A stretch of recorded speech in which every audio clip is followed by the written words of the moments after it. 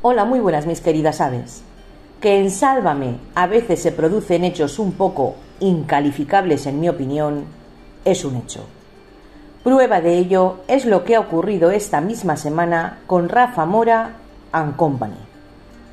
De repente, y como por arte de magia, llegaron a la conclusión, gracias a las redes sociales, de que quizá el colaborador no fuera muy querido entre los espectadores. Lo que, claro, supondría un gravísimo problema para el programa porque, ojo, desde dentro valoran y dan mucha importancia a lo que la audiencia demanda. De eso no tengo ninguna duda. Prueba de ello ha sido este último y larguísimo año. Véase mi ironía, por supuesto. Y es que tras la encuesta propuesta por el programa, los resultados no son nada halagüeños para el colaborador, ya que más de un 60% de los espectadores no comparten la presencia de este en el programa, en el que dicen sus propios compañeros que su actitud provoca rechazo y que sus conductas son reprobables. Luego, y a posteriori, para darle pauta supongo, se le sometió a una sesión de coach con Cristina Soria mientras se le catalogaba como apéndice de Kiko Matamoros, al que considera como uno de los pocos, por no decir el único, amigo que tiene en televisión. Tanto se les fue la cosa de las manos que el propio Kiko abandonaba el plató unos días después, harto de estos espectáculos absurdos y bajo la premisa de que él no va a ser condicionante del puesto de trabajo de nadie.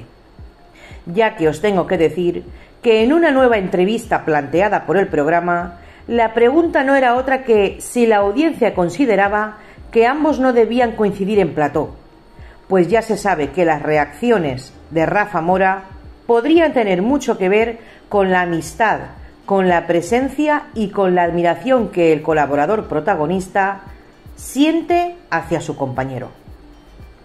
A todo esto, claro, y lejos de dejar las cosas correr, aparecieron en escena nada más y nada menos que los hermanos Frigenti.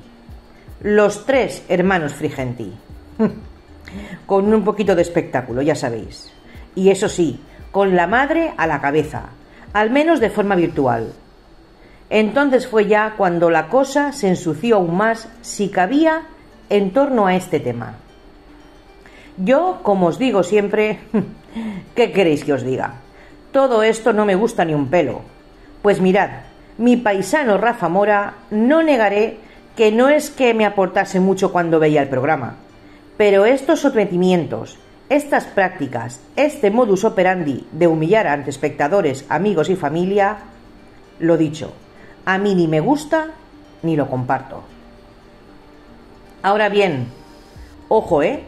Que tampoco descarto en modo alguno que todo esto pueda estar más que preparado, pues al final de la jugada todo forma parte de un show televisivo, supongo. Aunque luego, también os tengo que decir, corremos el peligro de que de vez en cuando algo se nos vaya de las manos. Esto, mis queridas aves, es a grandes rasgos lo que ha ocurrido esta semana en Sálvame. Eso sí, sin olvidar también algunos personajes secundarios o incluso diría de tercera división como Kiko Jiménez, Pipi Estrada y compañía. Pero bueno, yendo más allá, me pregunto, ¿todo esto podría obedecer a algo en concreto? ¿Podría seguir algún patrón? Como comprenderéis, no tengo respuesta a estas preguntas, pero sí tengo algo llamado imaginación. Imaginación y algo de tiempo para buscar la información. Y esto hace que haga un breve estudio al asunto y que quizá ello me aporte un poco de luz sobre todo el tema. Y es que mirad, el asunto estalló el martes de esta misma semana. Es decir, de repente el programa saltó por los aires, metafóricamente hablando, claro, y puso a sus redes a funcionar con la ya famosa encuesta y pidió poco menos que la cabeza, de nuevo metafóricamente hablando, del colaborador.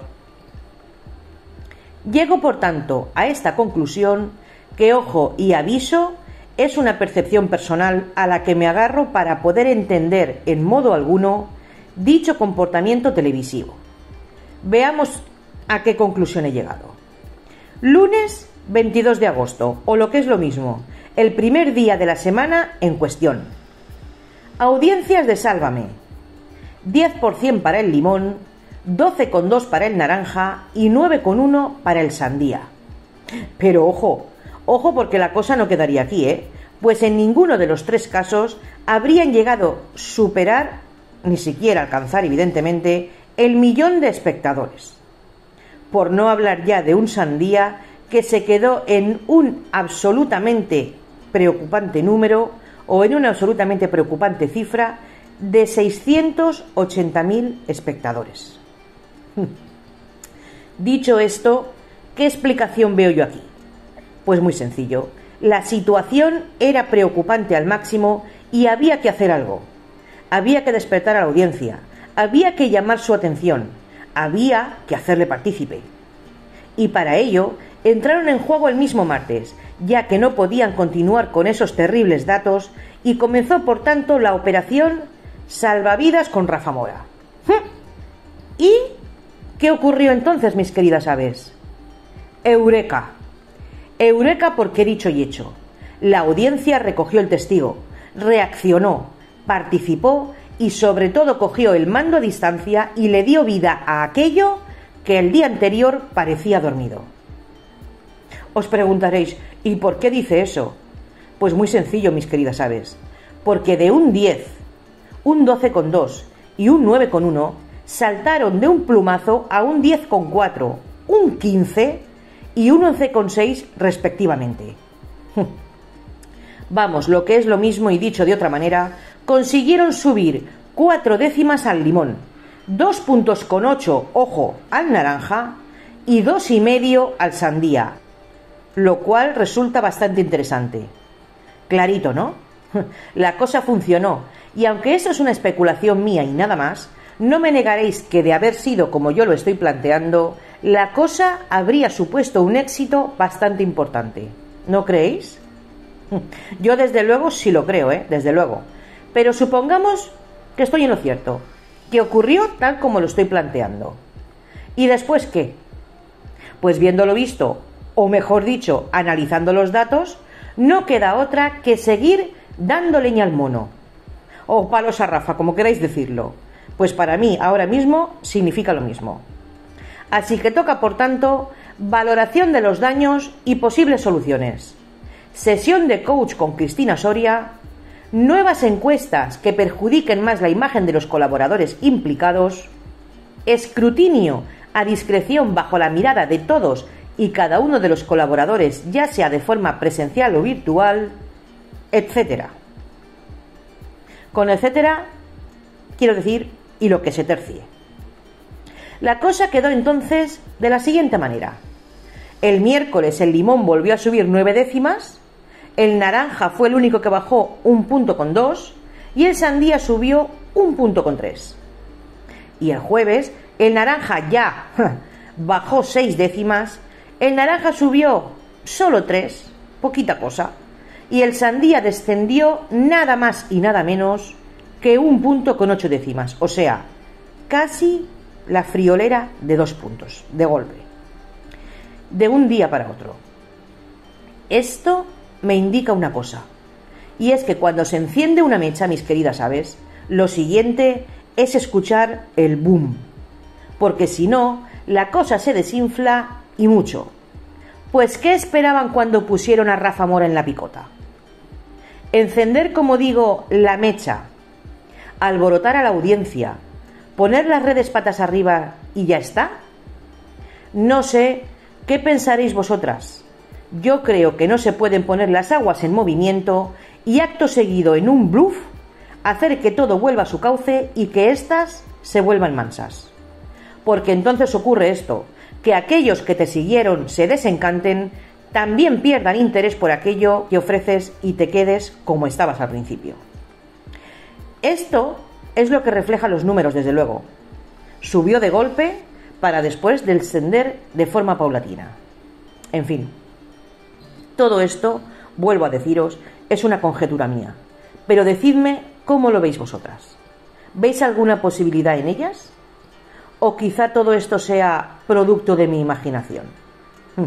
De cualquier manera, esto es un suma y sigue. Es un suma y sigue si tenemos en cuenta que esta misma noche, hoy viernes, será el propio Rafa Mora quien se siente en el deluxe. Y eso, ojo, ¿eh? A pesar de que él mismo se hizo con el aplauso fácil la otra tarde cuando, con un do de pecho muy grande, decía que ni todo el dinero del mundo pagaba ciertas cosas. Perdonad, aquí mejor me voy a callar. En definitiva y para resumir, os diré que lo que pienso es que no se pueden alertar a las masas para dejarlas luego en agua de borraja, porque una vez en pie de guerra solo queda ir a la batalla. Así que me pregunto yo si todo esto dará lugar a un nuevo deluxe de esos que pierden fuelle por supuesto y que sin duda volverá a exponer a este hombre esta misma noche, donde intuyo reavivarán la llama de las audiencias. En fin, os leo en caja de comentarios, esperando que el deluxe de hoy, por favor, no supere en cuotas el de la semana pasada, pues algún que otro clan campestre, ya me entendéis, podría verse un poquito ninguneado. Lo dicho, un like si os ha gustado el vídeo y suscribíos si no lo hubierais hecho ya. Un fuerte abrazo y hasta pronto, mis queridas aves.